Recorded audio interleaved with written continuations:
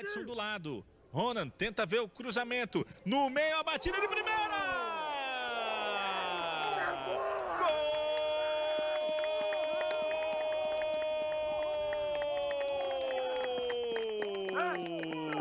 de Miller para o Atlético de Alagoinhas. O Carcará voa alto com um bonito gol.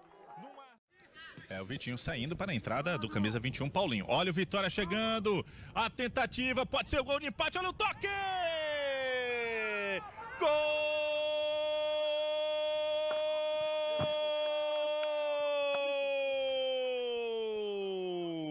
de Ítalo para o Vitória. Numa bonita jogada, o camisa 20 rubro-negro foi abrindo espaço na defesa. Acompanhe na repetição. Casa dos 82%. Vem o Vitória de novo. Está sem goleiro. Pode ser a chance agora do Soares. O gol da virada. Gol!